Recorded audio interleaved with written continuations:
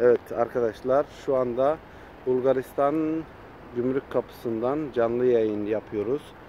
Ee, fazla o kadar kalabalık değil.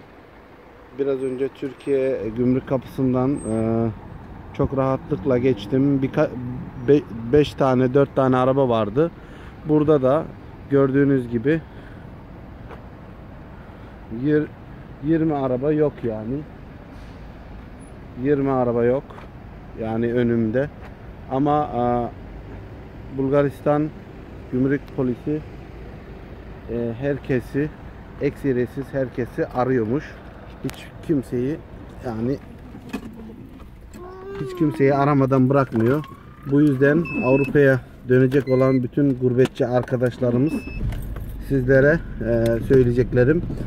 Bulgaristan'a geldiğiniz zaman yanınızda altın, e, yüklü miktarda para, e, peynir, bozulabilecek hani zehirleyebilecek peynir, sucuk, et buna benzer e, ürünler bulundurmayın.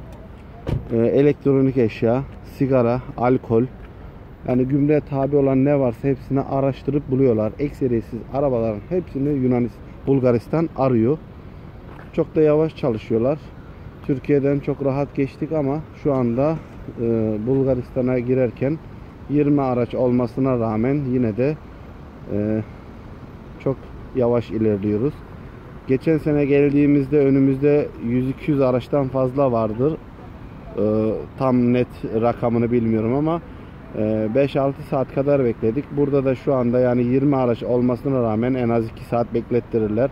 Orada bütün araçların hep bagajlarını açtırıp tamamen indirip hepsini e, ne var ne yok e, zahmet olsun sıkıntı olsun diye e, hepsini araştırıyorlar.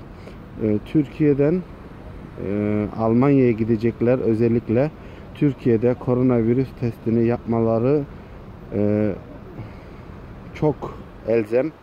Çünkü Almanya Kapıkule'den koronavirüs testi yapmamış olan bütün e, vatandaşların Almanya'ya çıkmasını istemiyor ve Türkiye gümrüğü de çıkarmıyor, geri döndürüyor.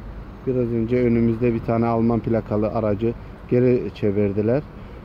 Ee, Hollanda, Avusturya ve diğer ülke vatandaşları yani plakası olan araçlar e, herhangi bir sıkıntı yaşamadan çıkıyor. Ama Almanya'ya gidiyorsanız kesinlikle korona testiniz olmadan Almanya'ya şey Kapıkule'den çıkamazsınız.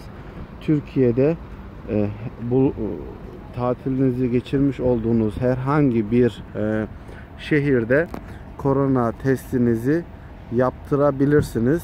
E, korona testiniz 24 saat içerisinde çıkıyor ve elinize veriyorlar.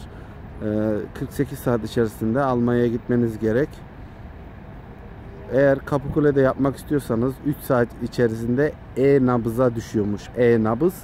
Oradan da e-nabızdan e, telefonunuzla internetle görebilirsiniz ama onu bastırıp hani Avusturk'un yapıp ve onun imzası ıslak imza olmadığı için ne kadar geçerli olur sıkıntı yaşayabilirsiniz. O da 3 saat içerisinde çıkıyor. Yapmış olsanız bile 3 saat içerisinde e-nabza eğer düşmemişse test sonucunuz yine de Kapıkule'den çıkışınıza izin vermiyorlar. O kadar sıra beklemenize rağmen sizi geri çeviriyorlar. Kesinlikle elinizde korona test raporu olmadan Kapıkule'de sıraya girmeyin.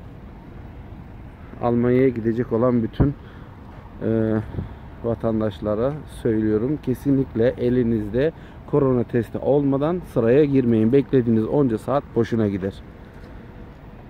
Ama Avusturya'ya ve diğer ülkelere bir şey demiyorlar. Onları salıyorlar. Almanya böyle istemiş. Salmıyorlar Almanya'ya gidecekleri.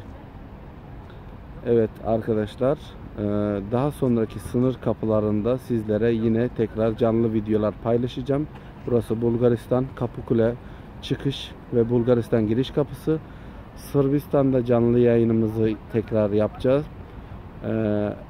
E, Macaristan üzeri gideceğim. Macaristan'da yapacağım. Avusturya girişi ve Almanya e, girişinde yapacağım. Orada neler yaşanıyor, neler soruyorlar ve ne gerekiyor yani trafik, kontrol ve sıkıntı yapıyorlar mı? Bunları Türkiye'deki bütün e, gurbetçi e, kardeşlerimize canlı yayın olarak yapıp paylaşacağım.